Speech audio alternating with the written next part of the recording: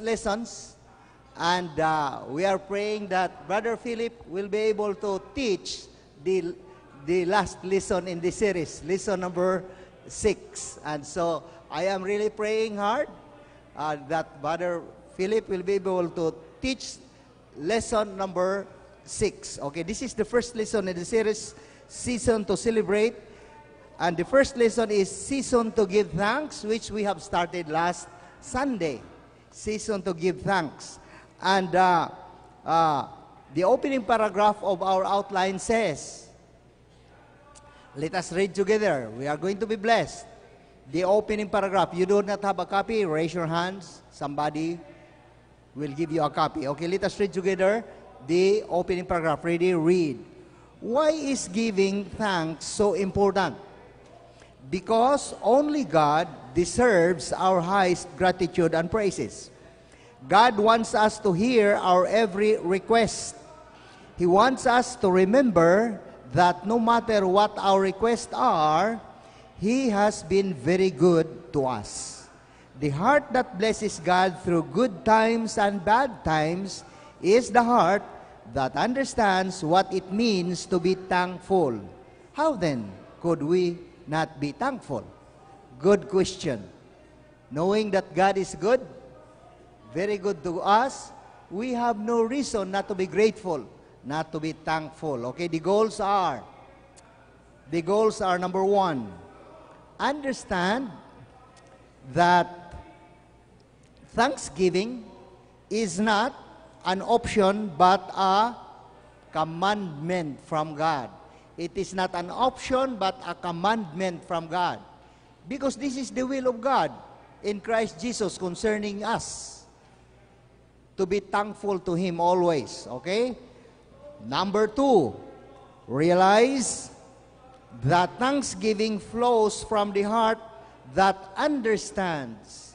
It flows from the heart that understands what God has done for us, beginning with redeeming us from our sin. Not only a good understanding, but a full understanding of what is the meaning of that redemption. And it is coming from a heart that understands. It flows from the heart that understands the redeeming power of God. And number three, commit to spending more time commit to spending more time in worship and praise to God for His goodness to us. Okay? So, I would like to uh, make a review that the word thank, thanks, thanksgiving, thankful, thanking, and uh, the like appear 59 times in the Old Testament and 49 uh, times in the New Testament for a total appearances of 108 times. So these words related to thank, thanksgiving appear 109 times in the entire Bible. Three points in this lesson this morning. We have taken up a portion already last Sunday. First, giving thanks reflects our heart for God it reflects our heart. Then second, giving, thank, giving thanks respects the ways of God. Respects. We embrace. We accept. No? It gives us comfort.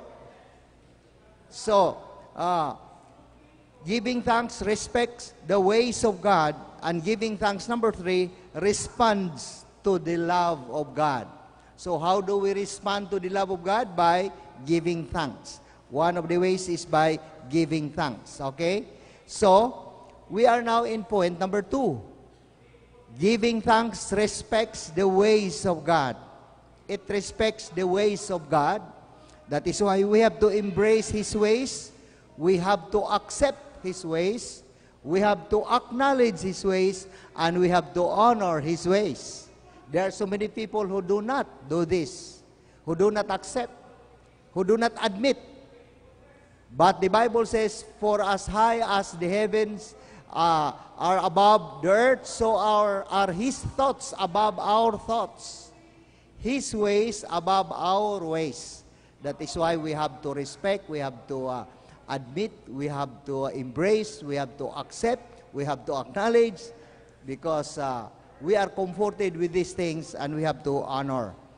Going, uh, we have, it really respect the ways of God because He is our sovereign, letter A, and letter B this morning, let us begin. He is our creator.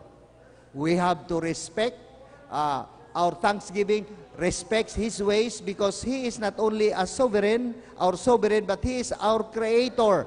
Back to our text. Back to our text. In Psalm 100 and in verse number 3. Psalm 100, verse number 3. It says, Know ye that the Lord, He is God. Mayo nga masayod ikaw, nga ang Diyos, siya ang Diyos. Si Jehovah, eh, capital, all capitalized. You notice in our Bible? All capitalized, referring to God the Father, Jehovah God. Okay? He is God. It is He that hath made us. Okay. It is Jehovah God that hath made us. All capitalized, L-O-R-D.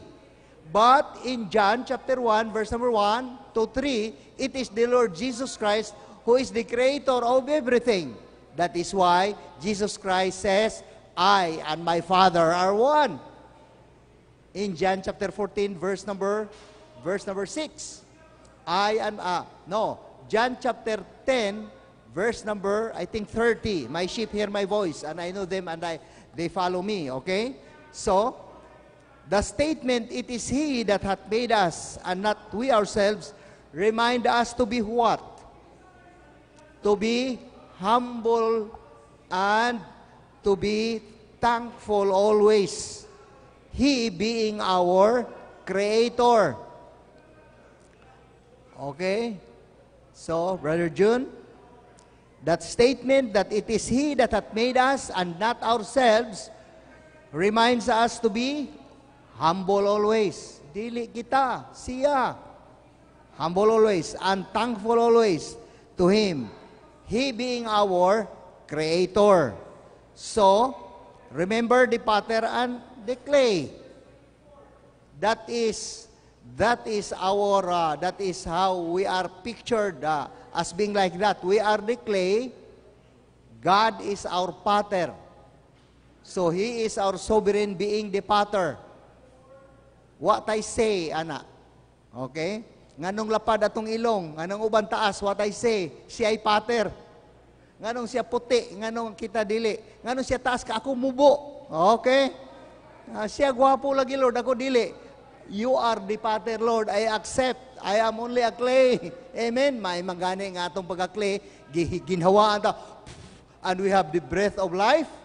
Ug wa pa ta ginahay mag ginawaay magpabilin ra tang clay oy nya magreklamo ta sa tong ilong. Sagdi na lang ng ilong oy. Sagdi na lang ng height. He is the potter, we are the clay. So when we give thanks to God, we show our respect for our creator and his plan for our lives. People who who think that they are hmm, there are people who think that they are self-made I hear of a lot of uh, commendations coming from great people, commending somebody that this man is a self-made man. Okay? Have you heard of that? And uh, people love to be heard with such commendation from great people also that he is a self-made man. Kaya siya, wow, ni-recognize dahil silang ako self-made. Tungod kay naning kamot ko, I really strive. Let's find out if that is a good principle to adopt or to accept or to stand upon. People who think that they are self-made, that is the blank, can never be truly thankful to God. Why? Because they put more credit to self as the key person to their successes and achievement. You agree with that one? You don't you? Yeah. Yes. Ako mo ay key person ining akong achievement o kining akong accomplishment. Walay lain ako. Murag nindot paminahon pero sayop na siya nga principle. Remember, you are a clay and He is the potter. Kano sa agog ka, ka-clay nga muingon kaniana. Okay? So, how can a clay be a self-made clay? He can never be a a kulon or a banga or a jar or a tadyaw if it were not for the potter. So a clay can never be a self-made clay because somebody, the potter, was forming the shape for the clay to become as such. So also are we. Okay? Of course, it is never wrong to strive hard in this life. It is never wrong to strive hard in this life. But when one starts to harvest the fruits of his labor and starts to credit himself for his achievements, to credit himself for his successes, and accept the commendation of others concerning himself that he is a self-made man, and that is wrong. Sayop na na siya. And matintal ra bagid namin tao, yes, I agree with his statement. I am a self-made man. Dili, oy. In the first place, that guy could not have labored had God not given him strength. If his successes and achievements were, were byproduct of his labor, he can never be proud of that because in the first place, he could not have labored if God hath not given him strength. Unsaon gud pagka kanang lump of clay nga malkalungag kadiha ug wa pa nahimuang nga kon. Ya? Og kanang paghuman og kon, gi-oven taon na siya oy para ma, parang maligon para makusgan. So, wa pa tayo i-oven sa mga pagsulay o sa mga kalisdanan ining kinabuhi ang muligoon ka ta. Ah, usara kalungag ang kuon, pak. Di na mausbang kanaliki man. Kay wa man ma-oven. Wa man mabutang sa hornuhan, wa man mugahi. So wa gyud. That is why Christ said in John chapter 15 verse number 5, For without me ye can do nothing. And many people would stand up and say, Di ko mo agree ni mo na, Lord, Di ko mo agree ni mo na, I can do without you. What the Lord Christ, what the Lord Jesus Christ, who is the God of eternity, is, you can never do anything that has something to do with eternity if, without me. All the things that you can do here on earth will perish with the earth. Because this earth is going to be judged. Mamelted ni siya, matunaw ni siya. And uh, Brother Seba is good at electronics also. I studied this antimatter. Antimatter. A very small gram of antimatter or a one gram of antimatter would cost trillions of dollars already. I said, oh, what is this antimatter? And I, as, as I studied, I relate to Peter saying that this earth is going to be melted. Who will melt that one? God. And people are now trying to understand what is this antimatter. I believe this antimatter has something to do with the melting of this earth. Hmm? So, you can do nothing? I can do, sir, I can do. But your the, the outputs of your uh, of the works of your works would only be limited here. It has nothing to do with eternity. Without me, you can do nothing. And Paul said also, he said, in uh, Philippians chapter 4 verse 13, I can do all things through Christ which strengtheneth me. Doon ay boxer nga ang iyang robe. Philippians 4.13 man siguro ni 4.13 dire. I do not know who that boxer was. Huh? You still remember? He be with dire. I can Philippians 4.13 appeal di ang kontra oy. I, I, I, but some of you might have remembered that boxer. Huh? Holy fields, holy fields, holy fields. I can do all things through Christ who strengthens me. Appeal din kontra. Gi-claim niya nga na nga verse, lalim ka sa boxing lang gani na mag-claim, makadaog pa. how much more kita? So, God wants us to know where we come from, where we came from, so that we can correctly direct our thanks and praise to Him rather than to ourselves. And Solomon, in his wisdom, has something to say in Ecclesiastes chapter 12, verse number 1. Here is Solomon, very wise man. In Ecclesi- Ecclesiastes chapter 12, verse number 1, he said, Remember now thy Creator in the days of thy youth, while the evil days come not, nor the years draw nigh, when thou shalt say, I have no pleasure in them. Why is this verse, why is this thought very important to every one of us? Because we have to remember the Creator. Usually when we are, we are very, when we are in the peak of health, when we are in the peak of our productivity in our business, chances are maka, makalimot magutas Ginoo kay malingaw magutag maayo. Tanawa ra ko ng bata. Ako gyud namatnguna ng bata. Sawa gina siya lilingaw. Kusog kay mo paraig sa inahan, di ba? O siya lingaw. Tagaig duwan, di na gina magmain sa iyang inahan. Di na na magmain. Usay kita, dili na ta magmain sa source atong Ginoo sa dihang puti na tang liwang lingawa sa atong kinabuhi. Kano sa mga mahitabo? Kanang puti pa ta nga healthy, batanon pa ta kayo, guwapo pa ta kayo, wa kunot atong ilo, atong nao.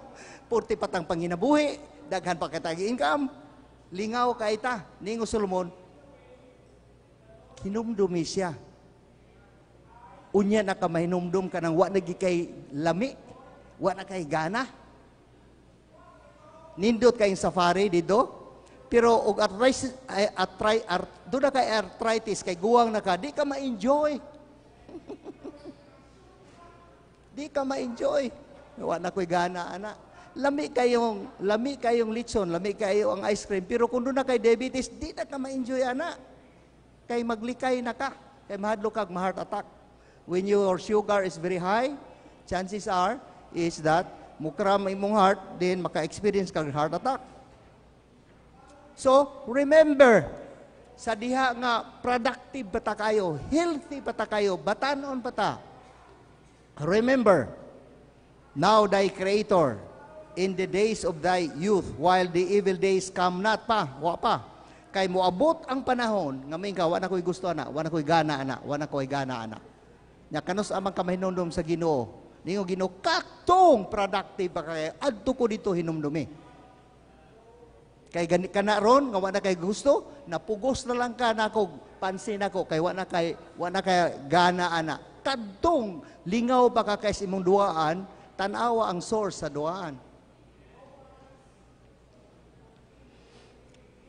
Giving thanks to God respects the ways of God because He is our sovereign letter A, because He is our creator letter B, and letter C because He is our Redeemer. Because He is our Redeemer. Okay? God did not just make you and me and then leave us in the world to do life on our own. That is not the case. Gikreata o gipasagdan lang ta. That is not the case. In our text, in Psalm number 100, in verse number 3, we are His people. The blank there is people. We are His people. Know ye that the Lord, He is God, it is He that made us, and not we ourselves. We are His people. We are the sheep of His pasture. Not only that we are God's people, He is providing us pasture. Sometimes, ang nakafocus magunda sa mga butang associated sa atong lawas. Kay kanimang atong lawas mo pinaka-close na to, ang atong lawas mo pinaka-close ginato ba? Nga naman, mo may una na itong makita. Mo ay unang sakitan, mao na yung, mao ang unang nga mo enjoy og aircon, kanimang lawasa. mo, mo, mo appreciate og lami kayo nga likso, litson nga init, kani mang lawasa siya. Kaning atong lawas. That is why,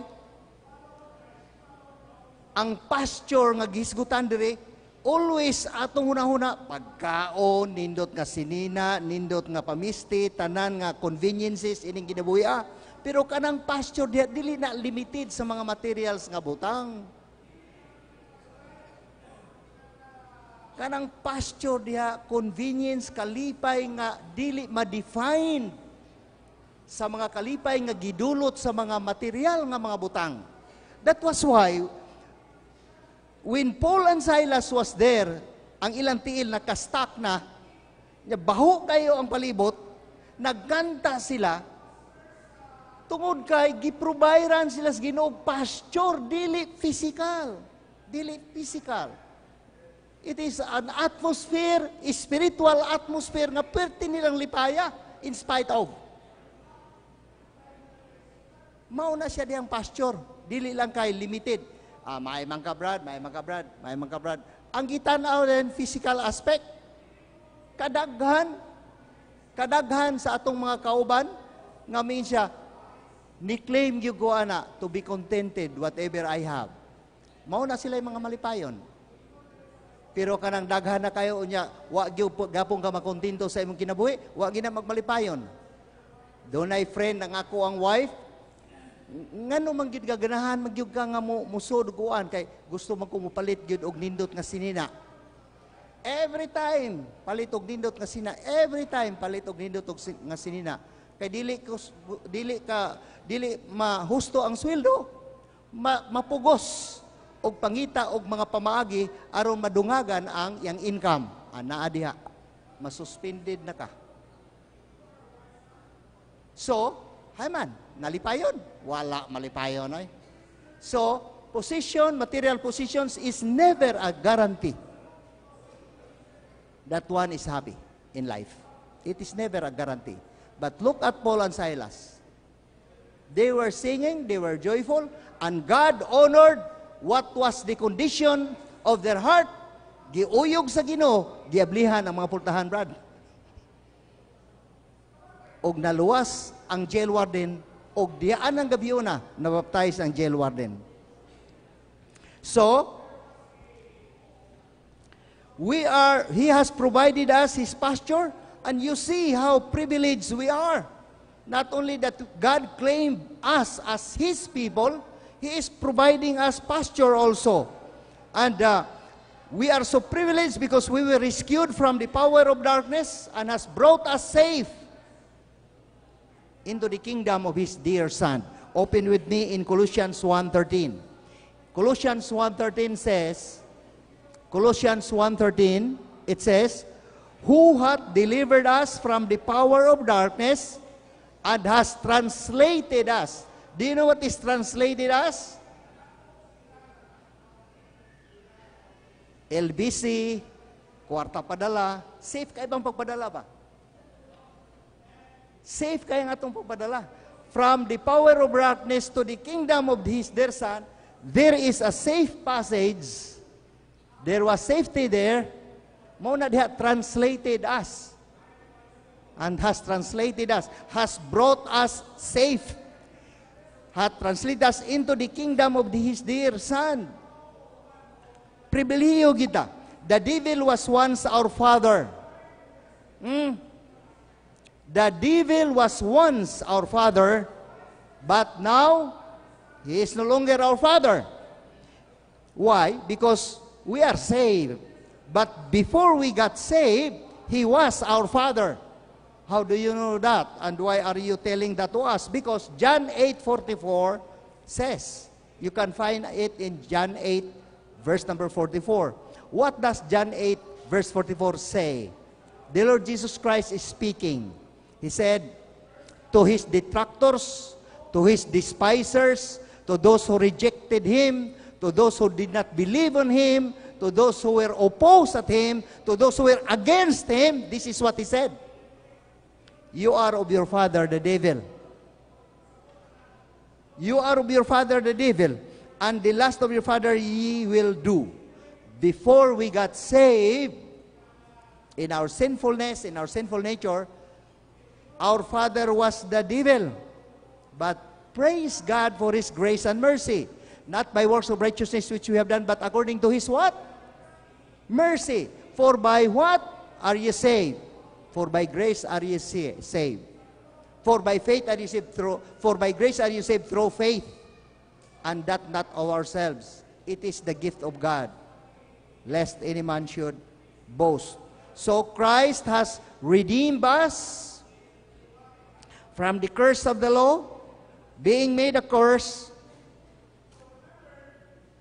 and has made us partakers of the inheritance as joint heirs with Christ. Kadakong pribiliyo na to ani. Gibilukat ta, gikan sa gahom sa kaaway, sa kangitngit, gilukat na niya, ang gibayad sa paglukat, iyang dugo. Unya, gipa-inherit ta. Unya, dili ordinaryo nga ah, heir, joint heir pag yun ni Christ. Gilukat, gi-inherit. In Galatians chapter 3 verse 13, Galatians 3 verse 13, Christ hath redeemed us from the curse of the law, being made a curse for us. The curse of the law is, for the wages of sin is death. That is the curse of the law. That is the law. What is the curse there? Death is the curse. For the wages of sin is death. We are all sinners, man. So, the curse that the law so pronounced against us is death. Christ hath redeemed us from the curse of the law, being made a curse for us. So, in order that we be freed from the curse of the law, He was made curse for us. Siya mo ay gitong law. Because it is written, Cursed is everyone that hangeth on a tree. Meaning, hangeth on a tree is a picture of crucifixion. And it is written that if you are bringing curse to the nation of Israel, you are going to die a very horrible death.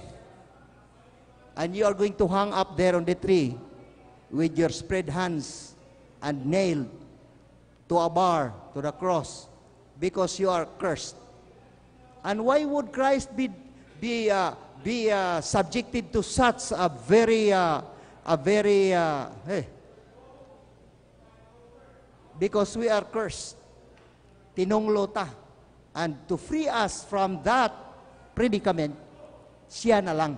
He was made cursed. For it is written, everyone that hangeth on a tree is cursed. Verse uh, uh, Ephesians 3:6 that the Gentiles should be fellow heirs and of the same body and partakers of his promise in Christ by the gospel. Pribilehiyo kayo ta. Romans 8:17 Romans 8:17 and if children then heirs.